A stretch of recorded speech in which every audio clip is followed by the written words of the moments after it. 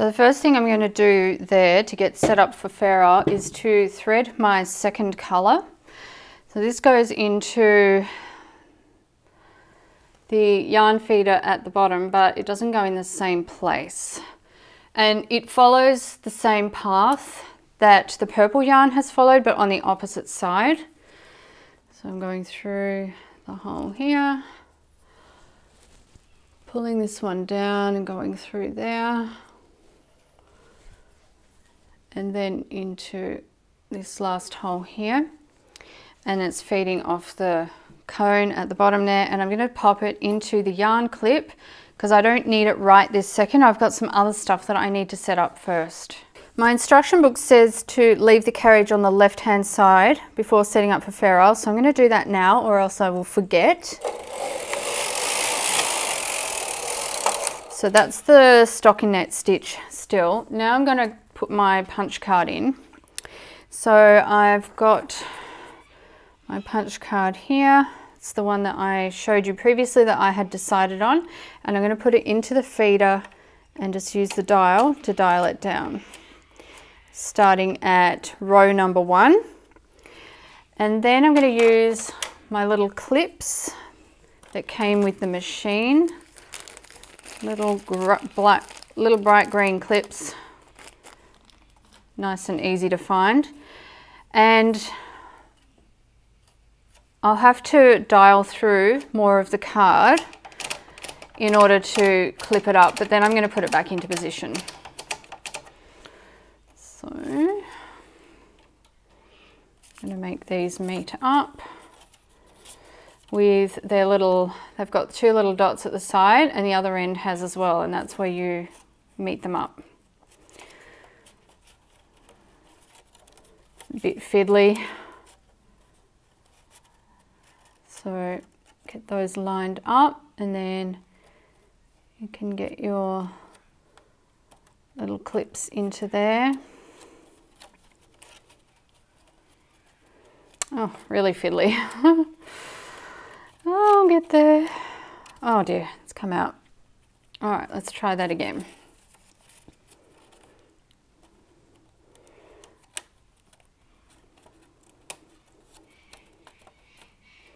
Okay, that's one side clipped, other side clipped. And then I'm going to do the same on the other side. And if you're not sure why I'm doing this, it's to make the card continuous because once it gets to the end of the card, unless you make it roll round again in the feeder, it's just going to feed right out but doing this it's going to continue to roll around. So you get a continuous pattern for as long as you want it. Very, very handy. All right, so now I need to dial back to row one.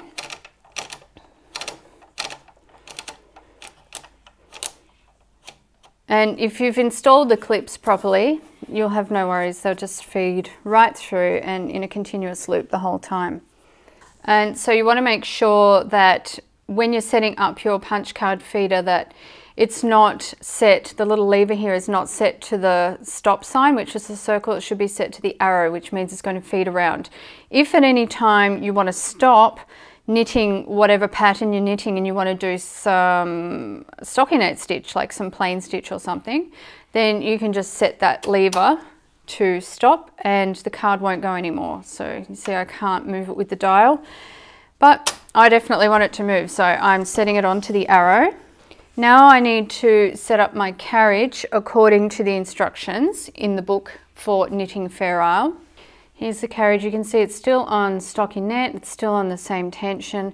There are a few things I have to change. So it's important to look at your instruction booklet for this because it's going to be different for different machines, just slightly different, but the same kind of idea, I guess. So I need to set my Russell levers to the two strokes instead of the one that's on either side. I need to set my dial to knit in instead of stockinette. So I'm going to do that and make sure that I've clicked onto it properly, not like before when I didn't click onto it properly and that was a problem. Um, my side levers, so I've got one at the side here and one at the side here. They should be on the triangle shape, but they are already, so that's not a problem. And then the last thing that I want to change is I want to change the tension a little bit. So I'm going to set it to six and see how it goes. And I'll change the tension if I need to. For the first row of actually knitting Fair Isle, I'm not putting in the new color just yet. I'm going to get to the other side first. And I'm also going to push out the needle that is on the farthest side away from the carriage. So at the moment my carriage is on the left, I'm going to push out this needle on the right. That helps to maintain the edges because you can get some funky edges with doing Fair Isle and that just really helps to make a straighter, neater edge. So we'll pop over to the other side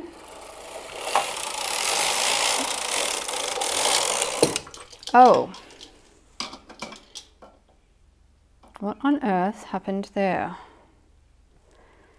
Okay, my entire knitting has come off. Why? I don't know. Well, that was spectacular, was it not? The whole piece of knitting fell off the machine.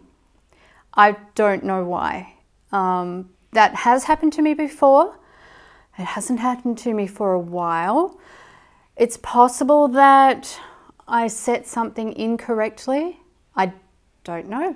Uh, this is the thing that frustrates me and stops me going forward with the knitting machine is when mistakes happen, I usually don't know why, what the problem is. But I'm going to do what I always do.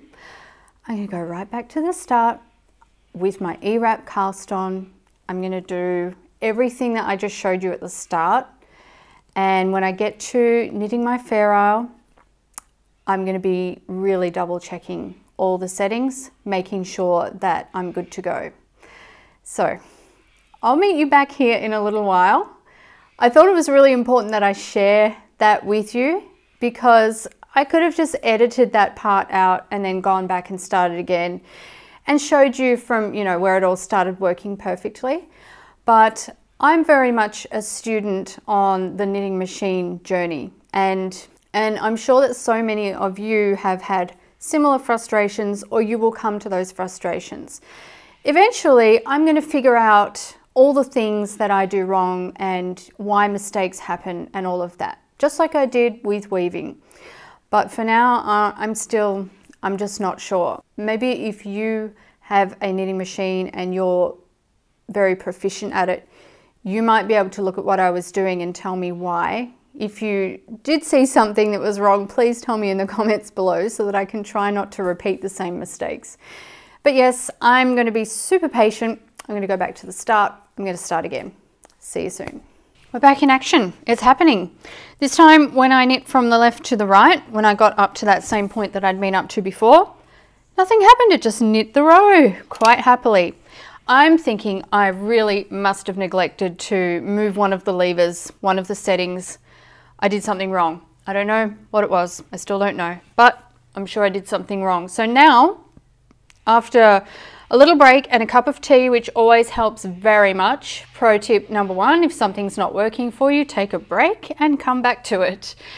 I'm going to thread my next yarn, my second yarn, which is my green and I'm going to thread that into the yarn holder in the second part where yarn it says 2 on mine it might say B on yours.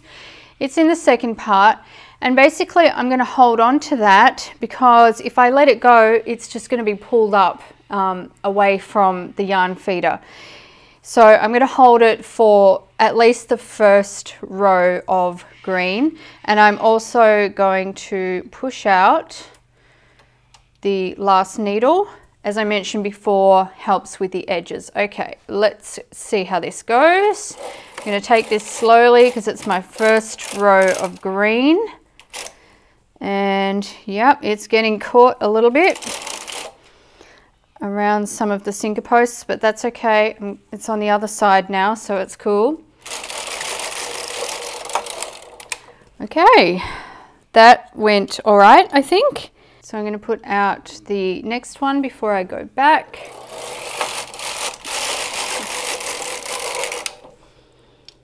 And the next one.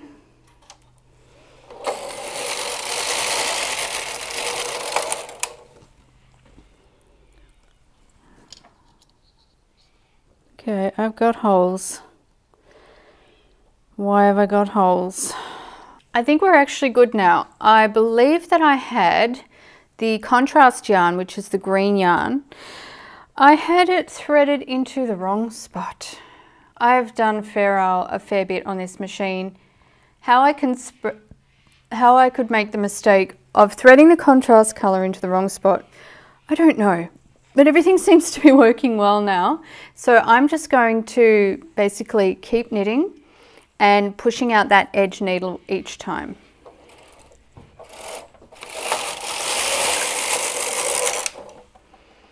So once I get to the right hand side, I'm pushing out the left needle. And I'm just going to take it pretty slow for a little while because I've had a couple of mishaps.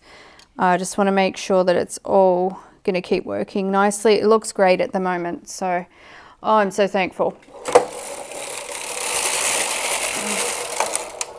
Now push out the right hand side.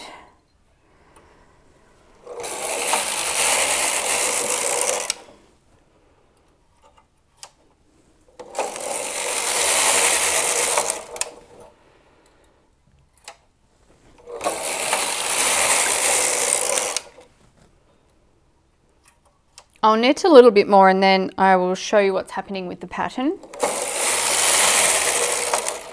I'm also using my little row counter here. That's just really handy to keep track of how many rows you've done. And then you can record that for next time if you want to make the same thing again.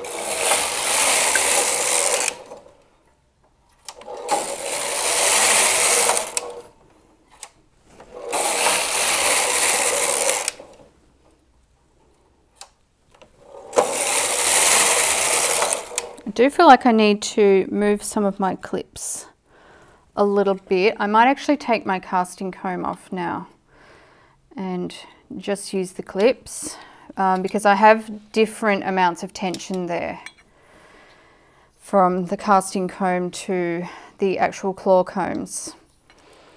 So just gently take that off.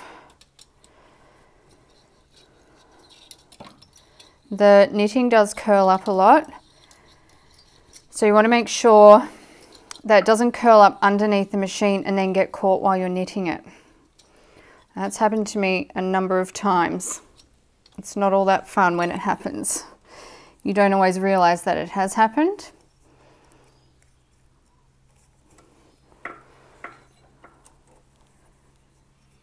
Okay, so I'm actually going to put my claw weights down a bit further because my knitting is curling up so much that I feel like it's going to get caught under the machine. I need to wait until there's a little bit more length to it to move my claw weights up. Let's see, how many claw weights have I got? I think I should have just enough to do the job here.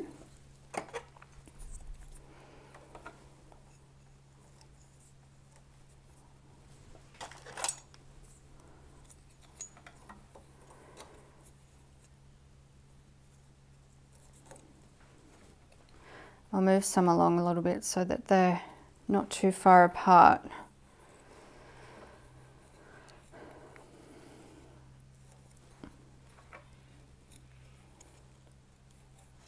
I really want to make sure that's not going to curl up underneath the machine and get caught. So I'm going to move that one down onto the stockinette part. So it's really pulling that stockinette down because that's the part that's really wanting to curl up. Okay, so I'm ready to keep knitting.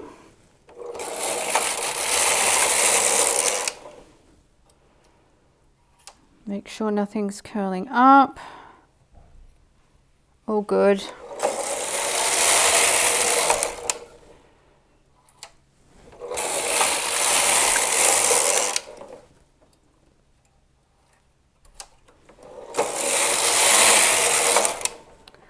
Loving the purple and green.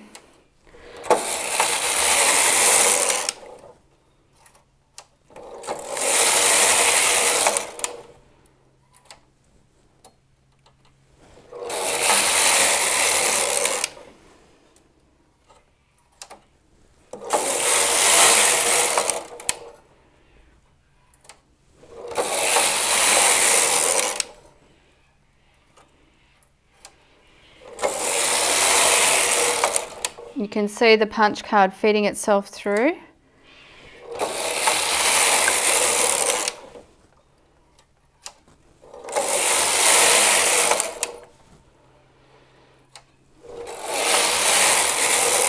So when I'm almost ready to change my claw weights, the positioning, that's when I'll stop for a minute and show you what I've got so far. You're supposed to change the claw weights, at least this is what I've read, every 30 to 40 rows and I've just hit 30 rows.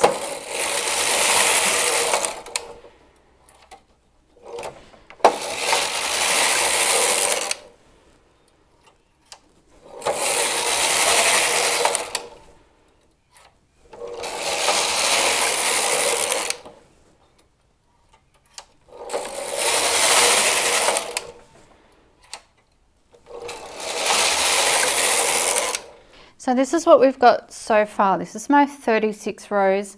I think it ended up being about four rows of stockinette, stocking net stitch at the very beginning, which is this purple little band that you can see here. And the rest is the Fair Isle. And I'm just about to change the claw weights, moving them up a little bit further. It's going really well so far. You'll notice that the long floats are on this side. If you didn't know this about machine knitting, the pattern is actually on the opposite side.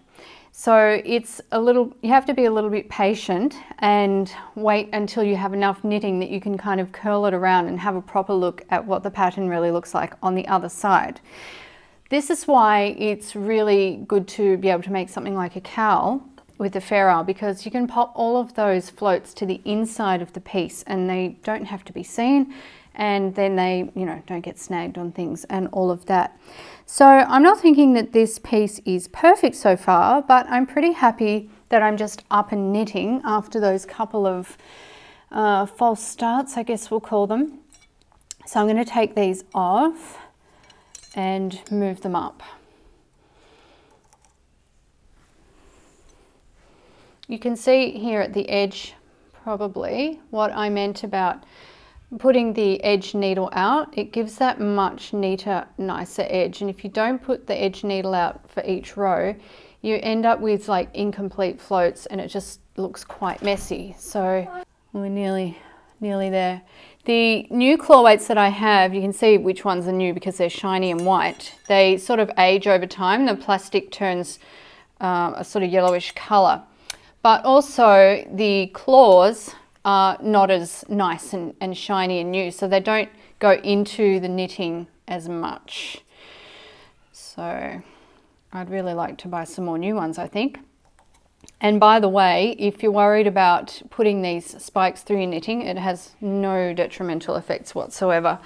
Okay, so now I've moved all my claw weights up. I'm at 36 rows. So at around, you know, around 70 rows, then I will change the position of my claw weights again. I'm just going to move that one up a little bit. But I'm sort of past the stage now where I'm worried about it curling up too much. It is still curling up a bit. I'm still going to keep an eye on it just because it's happened to me before, but I think it'll be okay. So I'm going to keep knitting. Um, I'll speed it up so that you can still see what I'm doing. And then once I've got enough length in it, I'm going to stop and then show you because I can actually curl it around a little bit to show you the pattern. Well, that's a 100 rows already. That went amazingly fast. It's kind of like weaving, like once you've done all the setup, um, sorted out any issues, the weaving actually goes really fast. Well, same with the knitting machine. I'm just taking these off just to show you the underside, well, the correct side of the pattern be really careful when you're doing this because if you lift this up right now, it's probably going to come right off the needles.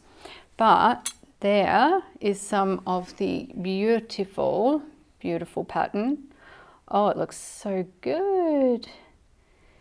You know, I think if I had my time over, I would have swapped the colors so that um, the green was where the purple is, but that's okay. It's absolutely fine.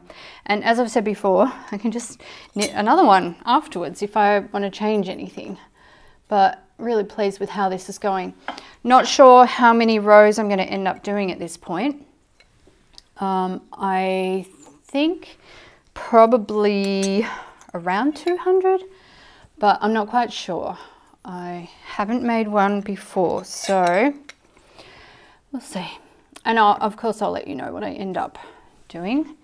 If you're looking for any information that I haven't mentioned in the video or you're not sure where I said it in the video, I'll try and put it underneath in the notes section. Click on show more if you can't see it. And if I've missed anything, if I haven't included anything, let me know if you have questions about the project or whatever and I will try to answer them underneath. Um, so now I'm back to knitting. This is how much I've done and really happy. It's looking great. So I'll try for another 100 or so rows and then see how I feel. Well, I must say this has been quite the adventure. Would you like to see my cowl? Here it is, but it's, as you can see, incomplete. This is 100 rows that I got up to that I showed you before. I left the knitting for a couple of days. I didn't have time to come back to it. I came back to it today. I started knitting just as I had been when I left it a couple of days ago. And the carriage got stuck half the way across the row. Uh, I tried to get the carriage off, I couldn't get it off, and so I forced it a little bit, which I know you're not supposed to do, but it did move, thankfully. And then once I had it moved over to the side, it was completely stuck. It wouldn't move from that position. So I started taking the carriage apart and lifting up the handle and everything to check uh, whether there was any yarn wound around somewhere that it shouldn't be. Everything looked completely normal, but the carriage was still stuck. So I put everything back together. And once I put everything back together, I went to move the carriage and it moved like it was just cutting through butter. So again, something happened that um, I don't know why it happened. So then I, I rethreaded everything and I started to knit and on my first row this just dropped to the floor, which is not something that anyone wants to see. Um, and I really did my best. I tried to get these tiny little stitches and get them back on the needles. You can see here how small the stitches are with this pretty fine yarn. And yeah, I just couldn't get the stitches back on because they're so fine that it's hard for me to see them and with the also with the Fair floats that was a little bit confusing as to what was a stitch and what was a float. Hopefully these are things that I will learn over time. So where are we at now? Well I recast the whole thing started again. I didn't unravel this because I want to keep this um, as a bit of a reminder, a reminder of what I don't know, but it's, it's nice anyway to keep. And I don't want to unravel all of this yarn now. That's quite a bit of yarn. And so I've started re-knitting. The good news is that I'm almost pro level E-wrap cast on now that I can do it so fast because I've done it so many times on this project. And it actually didn't take me that long to get to 100 rows this time because I wasn't filming any of it. So now that I'm at 100 rows, I think I said to you I wanted to do around 200 and then see if I felt that that was long enough. So that's exactly what I'm going to do from this point on. I have stopped at the 100 rows, so hopefully when I start again, I won't have any of the same problems. The carriage randomly and inexplicably sticking um, halfway through the row. Hopefully it'll be a bit more plain sailing this time. One thing that I have done this time around is um, I mentioned that if I had my time again, I would have reversed the colours so that the green was where the purple is and the purple is where the green is. That's what I've done with this next cowl um, to see how that looks and just for a little bit of variation because I worked on this one for a while and restarting, I just felt like doing something a little bit fresh. So I'm going to knit the remaining 100 rows and then we'll have a look at what I'm going to do next.